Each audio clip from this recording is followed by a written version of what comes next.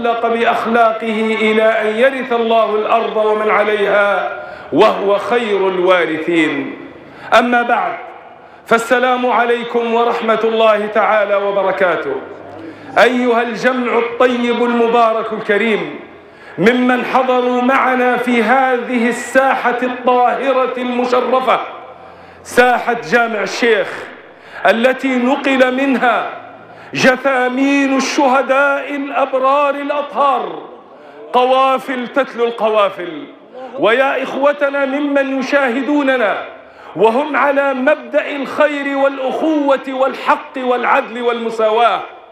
أما أصحاب الخيانة والغدر فلا شأن لنا بهم. فليبيا للأوفياء وفبراير للأصدقاء والأخيار والمجاهدين. لا نقبل دخيلا علينا. لا نقبل دخيلا علينا. نجتمع في هذه الساعة الطيبة المباركة لنقيم صلاة الغائب على بطل من أبطال ليبيا على رجل من رجال فبراير شهد له تاريخه المجيد الكريم بنضاله وجهاده وهو يمتطي سيارات الجهاد.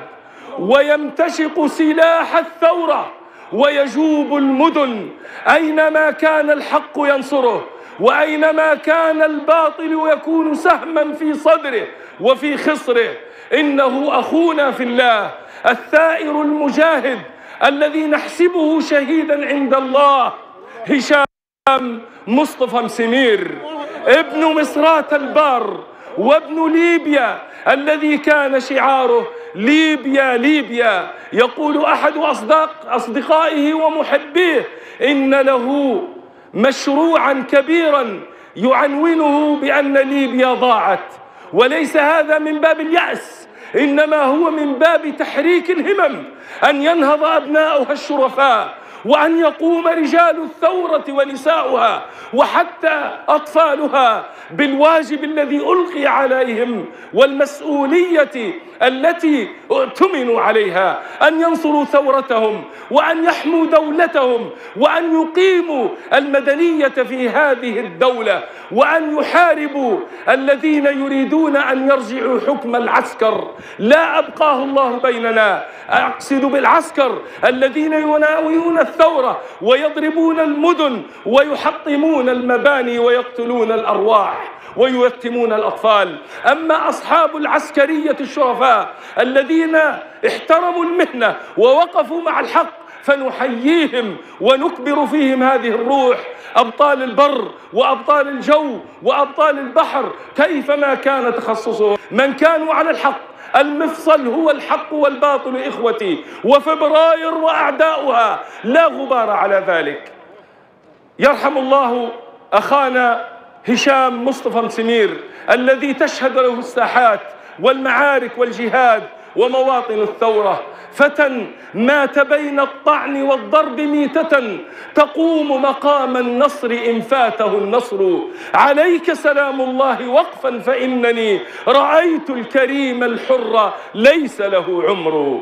ولا هذه شهادتنا في هذا البطل الذي حرم أهله وأصحابه وذووه وأهل الثورة ورفاقه وأصحابه أن يودعوا جثمانه الطاهر. ولكن لا بأس فقد قالت أسماء بنت أبي بكر رضي الله عنها وأرضاها عندما كان ولدها عبد الله بن الزبير رضي الله عنهما وأرضاهما كان يخاف من الحجاج وزبانيته وجنده أن يمثلوا بجثته فنصحته نصيحة غالية عظيمة وقالت له أثبت على الحق إن كنت تعرف أنك على الحق فاثبت عليه وإن كنت أنت تعرف أنك على باطل فاترك هذه القضية ثم إن الشاة لا يضيرها سلخها بعد ذبحها. لا يضيرها سلخها بعد ذبحها. رجل مات غدرا ومات غيلة وهو يريد النصح ويريد الصلح ويريد الخير لليبيا ولترهون ولمصرات ولطرابلس ولكل مدن ليبيا شرقا وغربا هذا مشروعه وهذه نيته وهذا مبدأه ولكن القوم صاروا ماكرين ولكن. القوم صاروا ماكرين هذه أخلاقهم وهذه مبادئهم. نحن لا نكون مثلهم ولكن نغلبهم بالحق وبالخلق الكريم. فإن أبا بكر رضي الله تعالى عنه وأرضاه وهو والد أسماء التي سمعتم قولها وجد عبد الله بن الزبير قيل له إن في القوم مثلة صاروا يمثلون بالروم وبالأعداء. فقال من فعل هذا؟ قالوا إنهم يفعلون بشهدائنا وبأهلنا ذلك. ماذا قال؟ قال أستنان بفارس والروم. أستنان بفارس والروم. ما تجعلهمش قدوتكم أنتم على مبداكم على أخلاقكم. وستنتصرون إن شاء الله. وسيعلم الذين ظلموا أي منقلب ينقلبون. هذه الوقفة الطيبة المباركة التي ندعو فيها من خالص وأعماق قلوبنا لهذا الشهيد. اللهم اغفر له وارحمه وعافه واعف عنه. يشاركنا الحديث في هذه الجلسة وهذه الوقفة وهذه الصلاة صلاة الغائب. بعض المشايخ والأصدقاء والأحباب من أنحاء ليبيا الذين نشكر حضورهم ونكبر عزيمتهم ونقدر موقفهم. بارك الله فيهم. جاءوا يعزون ويسلون ويواسون. آه، إن كان موجودين بالترتيب الشيخ إبراهيم سالم. الشيخ إبراهيم سالم. في اللي حتى في الطريق الشيخ قاعد تفضل. جزاك الله خيرا. السلام عليكم ورحمة الله وبركاته. بسم الله والصلاة والسلام على رسول الله. ما جئنا في هذا الوقت إلا نعزي أنفسنا أولا ثم أهالي الشهيد المغدور به بإذن الله هشام السمير البطل البار ابن ليبيا. نسأل الله أن يتقبل برحمته ويسكننا فسيح جناته باسم أحرار ميدان الشهداء طرابلس. الله أكبر. وأسئلكم جميعا أهالي مصراتة عامة وأهل الشهيد بإذن الله خاصة. وما نقول إلا ما يرضي ربنا إنا لله وإنا إليه راجعون. وما الحياة الدنيا إلا متاع. نسأل الله أن يقبل جميع شهدائنا وينصرنا على القوم التراث البغاة الذين عطوا في الأرض فسادا وهلكوا الحق والنسل وما ذلك القوم الكافرين منهم بالبعيد وهذه ليست أخلاق الإسلام. ولا أخلاق حتى كفار قريش من الرواح نصيحة لكل أهل تربونه عليهم أن يرجعوا للحق. ولا يتمادوا في في في السير وراء الباطل ووراء الطغيان. وما زلنا على الحق وما زلنا على العهد والعقول وإذا كان هم يحسبوا روحهم منها خلينا نتكلم بالعامية يحسبوا روحهم منها إذا كان جد هشام وغدروا به تحسبوا ان هي مصرات الرجال تموا وإلا رجال ليبيا تموا وإلا فقراء ينتهي لا وألف لا. والله العظيم هشام حيطلع بعد ألف هشام. الشيخ محمد العريق جاي من طرابلس الطريق هو باهي باهي. هو بيسرد القصة هو أقرب واحد باهي باهي. فبراير باقية. وأهل الحق باقون.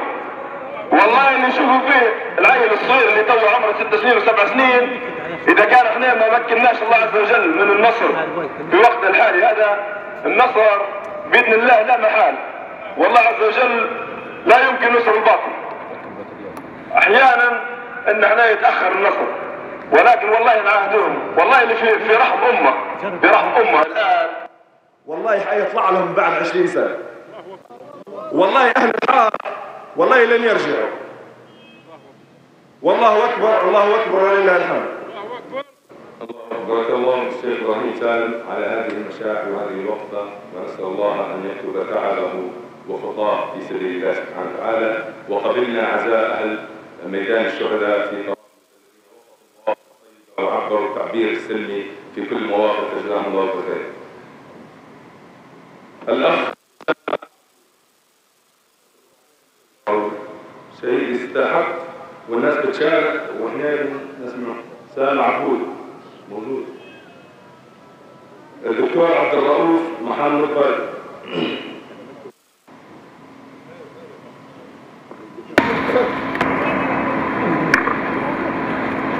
دكتور جرب على المايكات بالله عليك جرب. شوي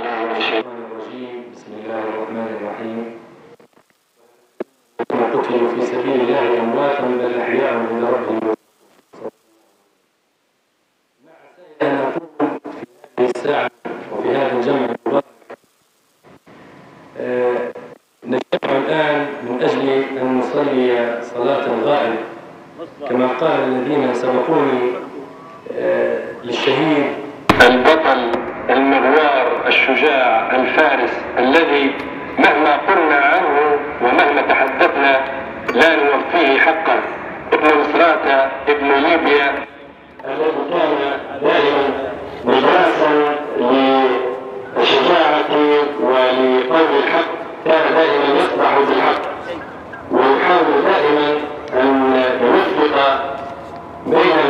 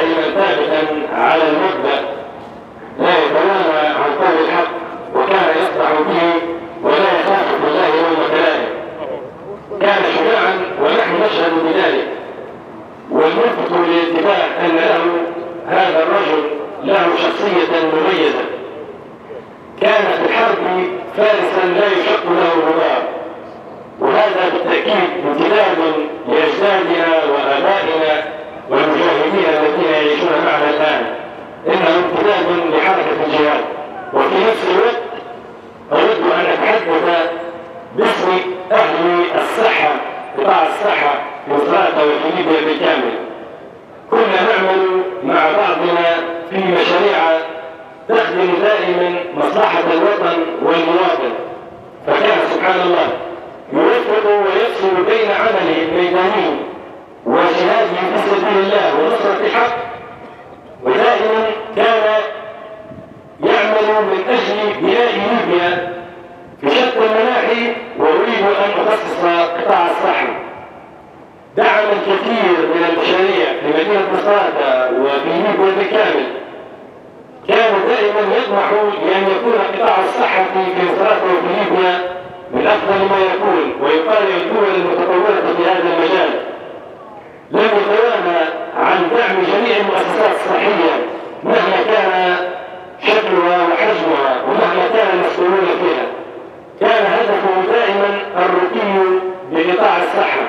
فأسأل الله تعالى أن يكون ما قام به وما قاله. وكل ما عمله في ميزان حسناته وأسأل الله أن يعوضنا عن فضله خيرا ويلهمنا ويذهب ويلهم أهله وذويه ومدينتنا وليبيا بالكامل صبرا وسلوانا لأن مهما مهما قلنا ومهما مدحنا بشخص هذا الرجل والله لم يوفيه حقا لقد عاشرناه عن قرب ومهما قال قائلون وشحد الجاحدون نشهد امام الله والله خير الشاهدين انه كان دائما همه على البلاد وعلى الشعب يريد دائما الخير ويريد ان تنهض بلادنا بلادنا من افضل فاسال الله ان يجمعنا به في عليين في مقعد صدق عند ملك مقتدر واسال الله ان ان يرزقها الحسنى وزياده وبارك الله في كل من حضر من مدينه مصراتة أو من خارج مدينه مصراتة وشعر معنا هذا الشعور الطيب ونسال الله بهذه الطاهره التي نزفت منه أن يغفر له كل الذنوب. وأن يزيده في الحسنات. آمين. وأن يجمعنا به في جنات النعيم. وأن يضيع هذا الدم هدرا أسأل الله أن تكون هذه القطعات الزاكية للدماء هو لكل شهداء ليبيا. وشهداء مصراتة أسأل الله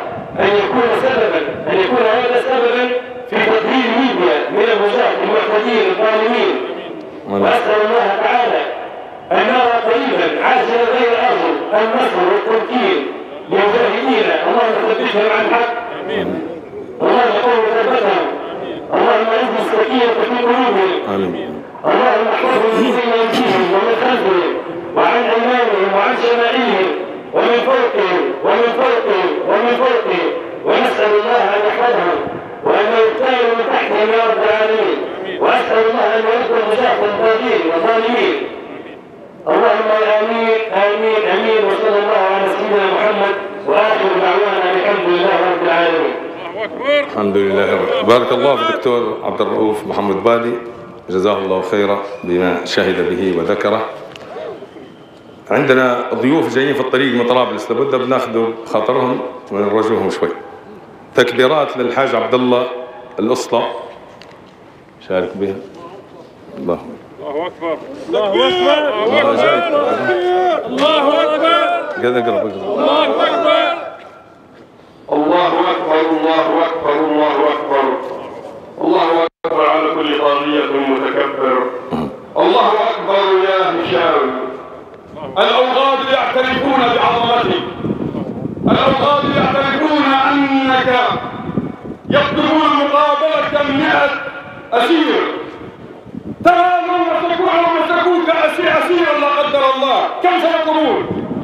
ألف ألفين ثلاثة آلاف إنك عظيم ويعترف بعظمتك هؤلاء الأوغاد عملاء العملات عملاء بني سلول عملاء الطغيان عبدة الطاغوت يعترفون بعظمتك ونحن نحتاج نحتاج لمن اعترف بعظمة العظماء أن يستشهدوا لا نعترف بعظمة قبل أن يستشهدوا قبل عظيم عنه والسماء وفي هذه تمر بس. لا تعترف بعظمة العظماء إلا بعد أن يستشهدوا. سبحانك يا ربي سبحانك. إليكم هذا التكبير المتواضع والذي تكرر أكثر من مرة. الله أكبر الله أكبر الله أكبر. عنوان تكبير شهيد المختصر الله أكبر. يا من خرجت طالبا إما الشهادة وإما النصر.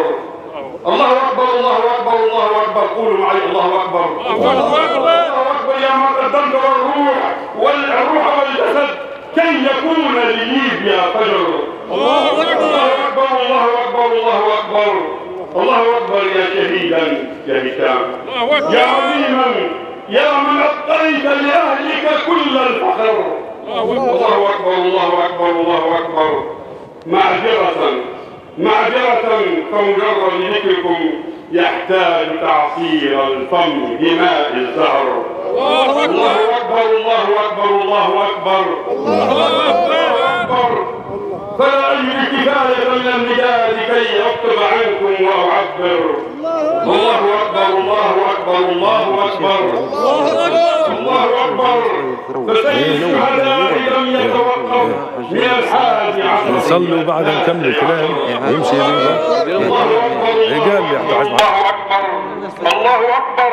على طاغوت شرقنا الحبيب. الذي لم يتعظ ولم يعتبر. الله أكبر الله أكبر.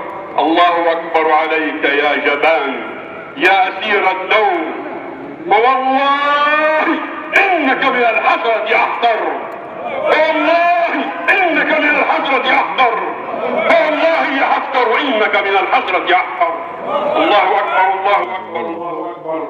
الله أكبر عليك يا قاتل الجرحى. وعلى من ادخرك لهذا الزمن من قوى الشر. الله أكبر الله أكبر. عليك وعلى من غرق من الأثر. الله أكبر الله أكبر الله أكبر. الله أكبر. وحسبنا الله ونعم الوكيل. في كل مرتد باع الوطن وتحقر الله أكبر الله أكبر الله أكبر. الله أكبر على طواغيت بني سلول وبني زايد وطاغية مصر. الله أكبر الله أكبر الله أكبر الله أكبر. لعنتم وخسئتم يا من وفرت الحماية لأعداء ثورة السابع عشر. الله أكبر. الله أكبر الله أكبر. الله أكبر والخزي واللعن عليكم. جميعا يا من ذا الثورة والوطن قد كفر. الله أكبر الله أكبر الله أكبر. فهيا بنا نرص الصفوف. لقهر تحالف الاستبداد والظلم والقهر. الله أكبر الله أكبر الله أكبر. والمجد لشعبي العظيم والخزي واللعنة على المرتدين أبد الدهر. الله أكبر الله أكبر الله أكبر. فالخلود لشهدائنا نزلا في جنات بها ما خطر على قلب بشر. الله أكبر الله أكبر الله أكبر. وشفى الله جرحانا الله أكبر وشفى الله جرحانا وخذ الله من كان بهم قد غدر.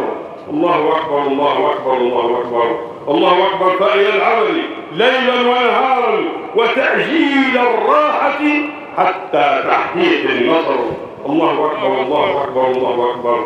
الله أكبر. فتحية لكم يا معشر العظماء.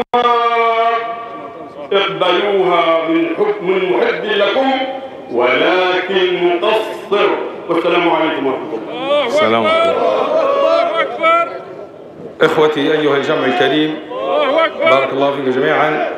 نصلوا صلاة ال- الغايب ثم نصل الكلمات إن شاء الله. تخفيفا. بعد الصلاة. نكلم الشيخ محمد عارف بعدين يسلم باهي.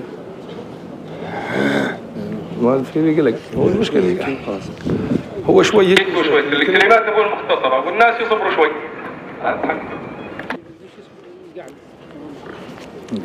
الله أكبر.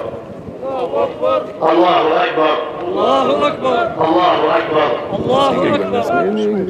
الحمد لله والصلاة والسلام على رسول الله حقيقة حيث هذه الوصفة من طرابلس لا بشيء إلا ليبين باهي باهي وناسها حجم الألم والمصاب الذي ألم به. المقام لا يسع بكثير الكلمات.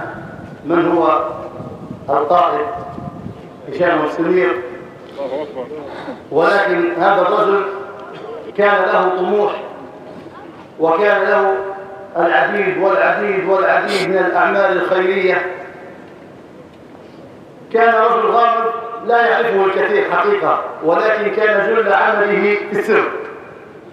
كثير من العائلات التي افتقدت هشام سمير رحمة الله عليه. ولكن أحببت أن أبين قصة استشهاده رحمة الله عليه. ونحن كما يعرف الجميع من أقرب الناس إليه في الأعمال سواء سياسية أو قتالية أو ما إلى ذلك. نحن فقدنا جبل شهر. ولكن هشام رحمة الله عليه الكل يعرف. ونحن نتحدث بصراحة. والله لا نخاف لومة لائم ولا نخاف إلا من واحد أحد. واللي بيجي شيء قدامه يجي الله من الناس. الحقيقة حينما كنا في الحرب العام الماضي السنة اللي فاتت الناس واقفة تحشم هذه الوقت إحنا كنا في حرب من أجل ليبيا. لا من أجل مناصب ولا مكاسب. كان الدولار 9 دينار ولا ب 4 دينار. والكل يعرف هذا الأمر. القائد هشام رحمة الله عليه كان معه فريق فريق من المدفعية. ألوية وأولياء وما إلى ذلك ولكن خبرة هذا الرجل الذي أعطاه الله له في هذا المجال كانت تفوق الجميع وذلك فضل الله. الرجل حينما تكون بعيد عنه لا تعرف ولكن إذا ما خلقته أحببته. أحببته. رغم عن أنفك سوف تحبه. حينما اجتمع عليه هؤلاء أهل المدفعية أحبوا الرجل ويتواصلون معه. كانوا يعطونه يعطونه وانتبهوا إلى هذه الكلمة في الأحداثيات. والكثير من جماعتنا يعرفون هذا الأمر ولا يخاف كانوا يعطونه في الأحداثيات هذا الفريق الذي كان في الماضي مع هشام أصبح يعطي في القائد هشام رحمة الله عليه يعطي في ماذا في الأحداثيات فكانت أهداف هشام دقيقة جدا. وهذا السبب الذي جعل تلك الشرذمة الفاسدة الفاجرة التي تقف أمام المستشفى لأنهم يعلمون أن أولئك المجرمين بصواريخ الجراد التي كان يطلقها هشام ومن معه. كانوا يقولون الأحداثيات يوم أن كان راجعا وكانوا يتواصلون معه. قبل مقتل هشام رحمة الله عليه بأربع أيام قتل أحد الأشخاص ولا أريد أن أذكر اسمه من أجل أهله أو ما ذلك. قتل قبله بأربع أيام في كرهنا ثم بعد ذلك في اليوم الذي قتل فيه هشام وكان الرسول معه وأصحابه وأحبابه الذين كانوا مع فبراير ومع الدولة المدنية وضد عسكره الدولة وضد الكرامة في كرهنا وهم قله جدا على الأصل. يعني تعدهم على الاصابع في ذاك اليوم كانت المصادفه حينما رجع هشام وأتى إليه وأتت إليه المكالمة.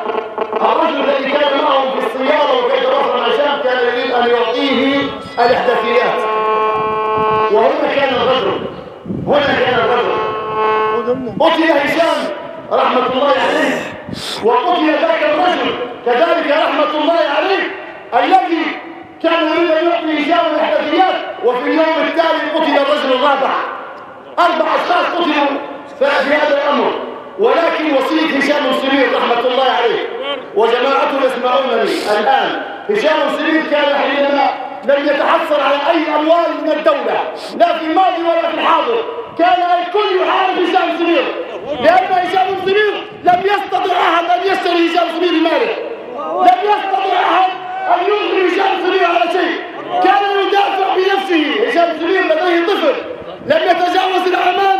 كان هذا الطفل حينما يرجع أبوه لا يعرف أبوه لأنه يغيب عنه بالشهر والشهرين. الوحيد الذي استمر أكثر من أربع أشهر في العاصمة ونحن نرجع إلى بيوتنا وإلى اولادنا وزوجاتنا الرجل كان صامدا. الرجل حينما هجر أهل طرابلس أتوا إلى هشام في الجحفل وإن كان في الحاضرين أي شخص يعاكس هذا الكلام فليقف امامي حينما هجر أهل غريان اتوا إلى هشام سمير في الجحفل حينما هجم المداخل الملاعين على صبراتا دعم هشام زميل ثوار صبراتا حينما هجم المداخل الملاعين على بناء طرابلس كان هشام سمير دعم ثوار طرابلس وهم يعرفون من هو هشام سمير سجن هشام سمير ظلما نعم والان عفى الله عما سبق نحن مواليد أربعة أربعة لا نريد أن نتكلم في الماضي ولكن الرجل لم يعطى إليه حقه الرجل ظلم ظلم من اهله ومن ناسه الرجل كان لديه مشروع قيام دولة مدنية الرجل كان يريد منكم يا أهل فبراير ان تحكموا البلاد كانت له مقولة مشروعة يقول فيها يا أخي يقول يعقول يجربون يحكموا البلاد وبعدين يحكموا عن فبراير نحن يا فبراير لم يحكموا البلاد بعد هذه هي حقيقة هشام ام سمير التي الكثير والكثير يعرف هذا حقيقة ما حدث. هشام السرير كان أكره إنسان عند الزلم الفاسق محمد الكامل حاشا اسمه. كان لا يحب هشام سرير لماذا؟ لأنه الزلم أخضر هكذا. نقولها بصراحة والكل يعرف هذا الكلام. مستحيل حينما سمعت أحد المداخلات في التلفزيون وقالوا هشام كان يريد أن يذهب. يا أخي يقول سنتين صدق بس بلش من اسم هذا والله من سبع المستحيلات أن هشام يتجه للترهونه والله أنه يجلس مع أهل الترهونه والله أنه كان من هذا الكلام هو عنده شيء أصلا من الأساس. الرجل كان مقاتل. كان له له حلم سياسي من أجل أن ينقذ هذا البلاد. كان حينما نذهب أنا وهو وربما مع الآخرين في الطريق الساحلي يقول بالله ينظر للطريق الساحلي برد تكسير وخراب ليش؟ يسلموا بطونهم فهم يسلموا ويعقلوا البال شوية. كان يقول هذه الكلمات. ولكن سوف تستمعون بإذن الله الأيام القادمة أو تشاهدون فيها وثائق من هو هشام سرير وماذا خسرت ليبيا.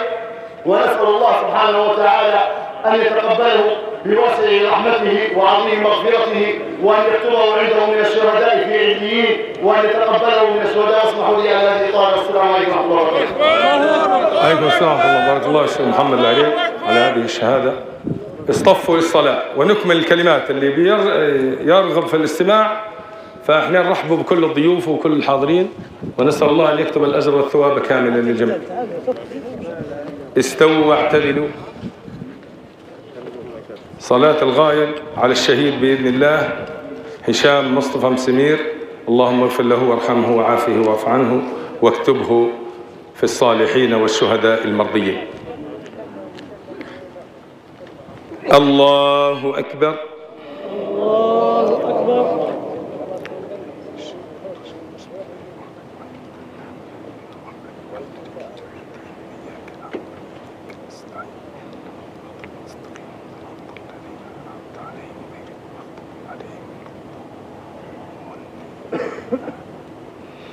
الله أكبر. الله أكبر.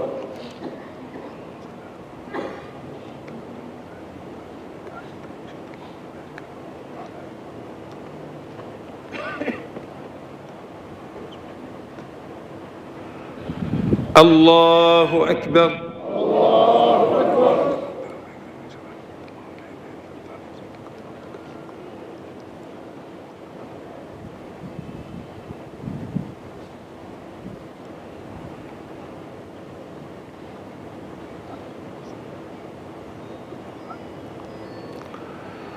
الله أكبر.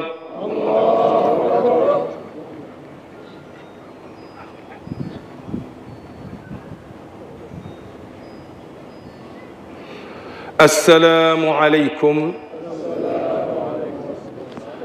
تنبهين يا إخوة تنبهين. أولا أخوه صلاح نسأل الله أن يعوضه في خيرا متكفل بالديون إن كان حد له حق بإثباتات رسمية. أخوه صلاح. والثاني يقولون لكم عزاكم مقبول. تخفيفا عليكم وعلى كل الضيوف كذا عزاكم مقبول. ادعوا والصلاة إن شاء الله يقبلها ربي وتكون شفيعة. ليه وهو شفيع لينا إن شاء الله جميعا وما فيش عزاء لا هنا ولا في البيت. هذه وصية وأمانة. يا يا الحاج الطاهر عنده كلمة. يا قرباء الشهيد الفضل هشام دينا دينا هو علينا كلنا. دينا هو علينا كلنا. رغم الدنيا هذا رجل غني من العظماء إي والله. الشيخ طاهر الشريف أبو شهيد أو أكثر ممكن وضيف على صلاته وواحد منها. تفضل.